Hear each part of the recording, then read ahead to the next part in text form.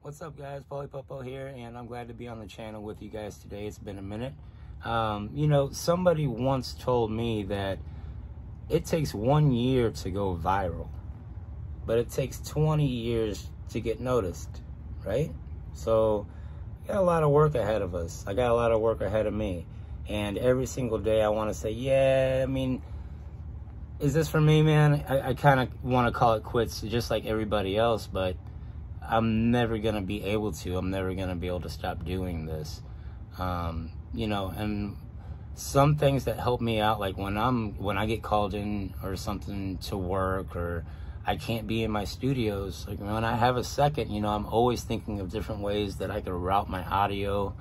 And what really helps me is drawing it out like the same way that you write out a schedule for your whole week you know that time's allotted to what it is written down if you know what my point is, is if you know your MPC or if you think you know your MPC, you really don't know it until you sit there and try to draw it.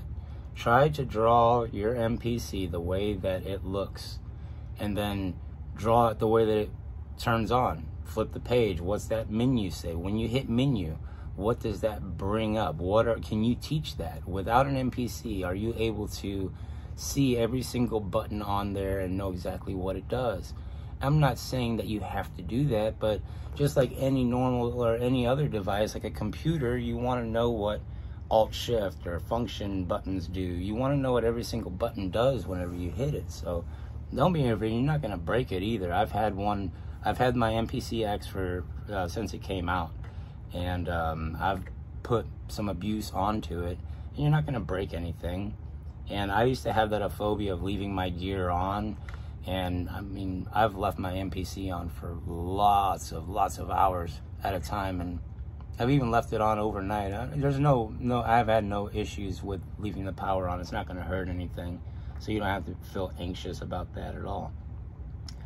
Um, but yeah, I'm just kind of all over the place right now. I'm a little excited because I finally got the computer up and running.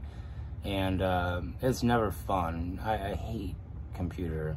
I have a degree in network administration and cybersecurity, and I know a lot about computers, but I still hate every single thing about them. I mean, they hate me too. It's a it's a love hate relationship that we have, um, kind of like that solid state uh, mixers and stuff that I see on there. Man, I'm like there's such nice stuff out there that you have to have a computer in order to utilize but yet i'm trying to go standalone with half of my stuff so it's just like man i'm i'm kind of torn um, i'm kind of torn because if something happens to my computer all of my stuff's gone but if i have it in, in standalone i can try to fix it you know what i mean? And i've just had really really bad luck and i hated to spend the money on a computer but i do love the mpc software um, you can use it, you know, to your advantage, especially when you're making sound packs and stuff like that.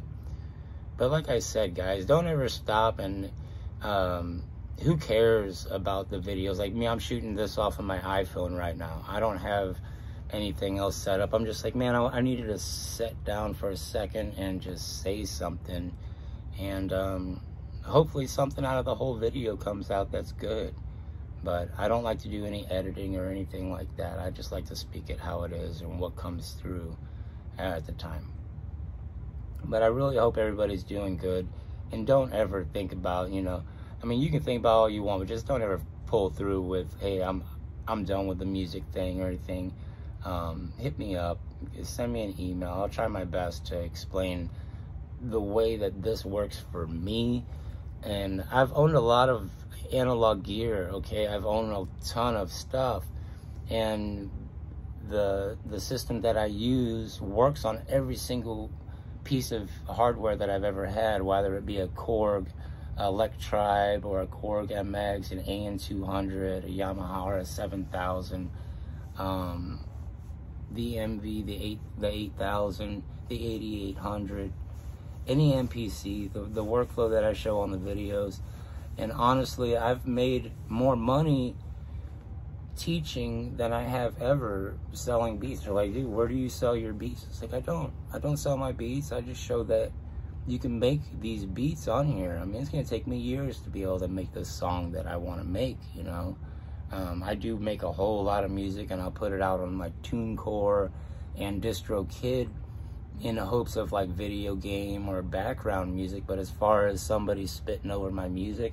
I don't have none of that out there uh, like that.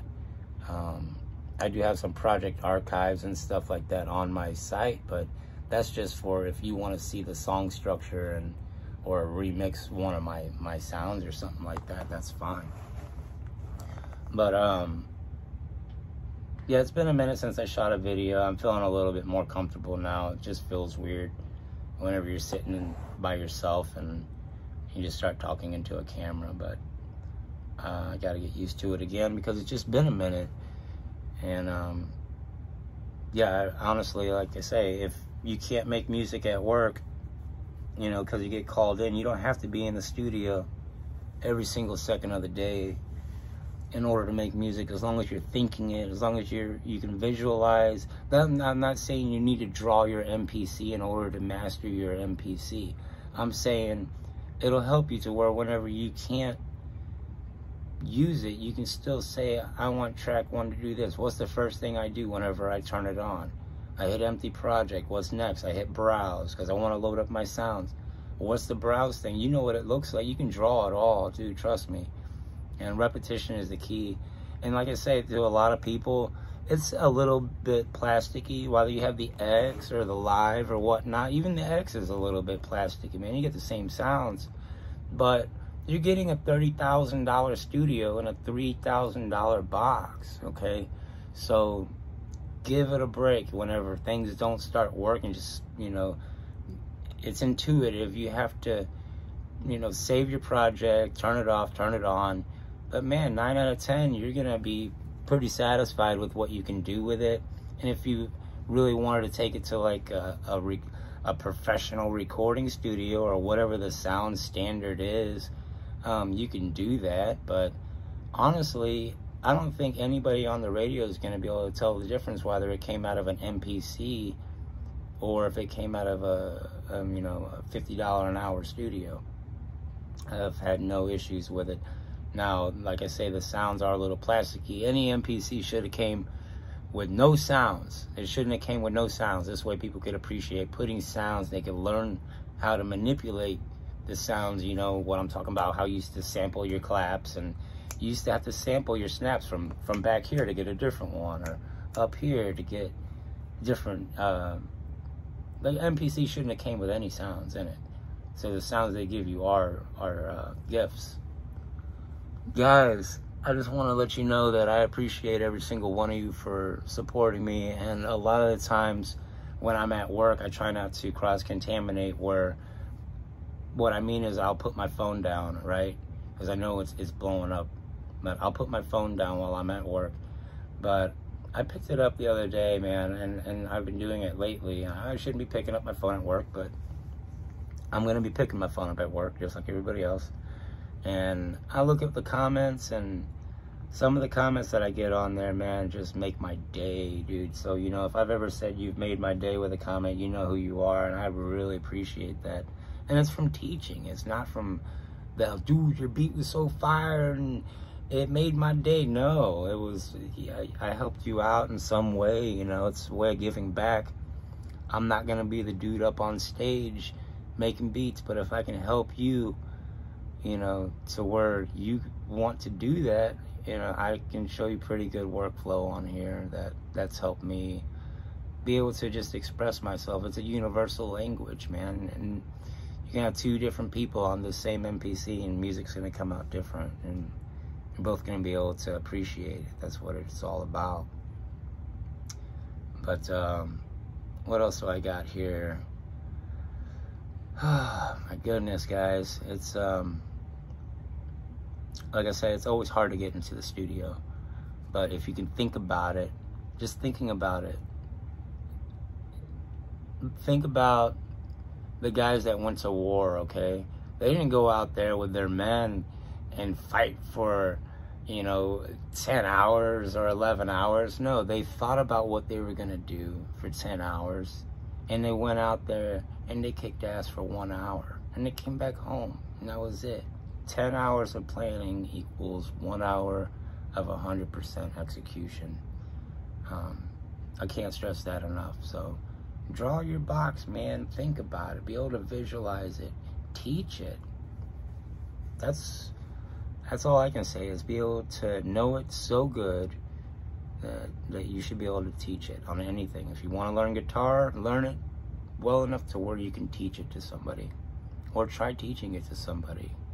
Um, a lot of times whenever I'm doing a one-on-one session, um, I'll learn something new too. And I'll tell them, like, hey dude, that was cool. I didn't, I didn't even know that. It was really neat.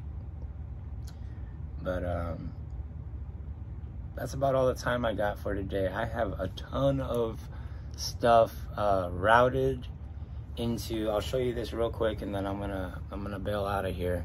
But I got a ton of stuff routed into my MPC Live, anything going through that mixer is going into here.